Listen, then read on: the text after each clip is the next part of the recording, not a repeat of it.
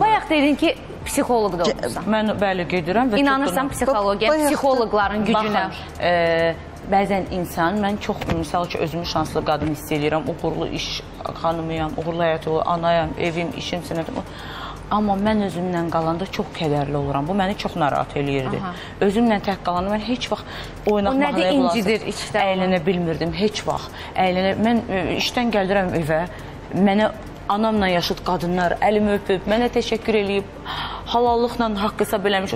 Amma yolda gəlirəm bir e, lirik bir mahnı gedir, tutaq ki, mənim gözümdən avtomatik başlayır yaş gəlməyə, gəlməyə. Ola bilər İncə sənət adamı olduğundan ola bilər. Yorğunluq sindromu filan. Mən e, oğlumdan qabaq özüm getdim. E, belə bir gözəl xanımla tanış olmuşam. Sahilə xanımı buradan öpürəm. E, və ona dedim ki, məni narahat edən bu məqamdır ki, bəzən yoldaşım da fikirləşir ki, görüm bu niyə belə, nə baş verir? Niyə belə eləyir də? Olur ki, mən hətta Hüseynə deyə bilmirəm ki, no, bir dənə tək qoyun, mən öz, yaxşı deyiləm filan. Ə, Və biz danışanda, danışanda da dedim, mən belə e, avtomatik bir cümlə çıxdı. Dedim ki, məni ən çox bu həyatda nə yorub? Öz həmcinslərim tərəfindən xəyanət görmək. Dəhşət. O, o, o həqiqətən də böyük bir mövzudur ki, biz onu o, Mən müzakirə etməliyik. uşaqlıqdan bağçada yanımda oturan oğlandan tutmuş, həyat yoldaşıma kimi, övladım da mən əks cinsdən xəyanət görməmişəm.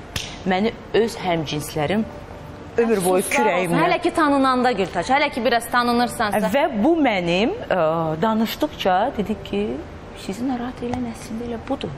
Sizin beyninizdəki o sualların cavabı. Və mən ondan danışdıqca biz nə qədər rahatlaşdım. Mən bilirəm, e, mən ən gözəl psixoloq özüməm. Amma mən onu danışdım onunla, paylaşdım. Bilirsiniz necədir Gültaş xanım? İnsanı hər zaman istər kişi, istər qadın fərqi yoxdur. Onu anlayan, başa düşən, paylaşa biləcəyi, yəni ən içdən olan duyğularını da belə paylaşa biləcəyi bir adamın olması çox Bəzən o vacibdir. adam da səni vurur da. Və o övlad da ola xanım. O həyat yoldaşı da ola Bəzən bilər. elə o adam da sizi kürəkdən vurur da. Ən dəhşətlisi odur. ye. Məsələ burasındadır ki, hə, o Acılı bir mövzu, xəyanətin, çox- çox ağır xəyanətin ən pik nöqtəsidir o Ən ki, dəhşətlisi odur ki, yəni bilirəm, sən o, o adam da yəni, vurur səni. Sözlər Çox şükür, mənim yoldaşım çox yaxşı dost Hüseyn, çox. Biz zaten dost olub sonra evlənmişik.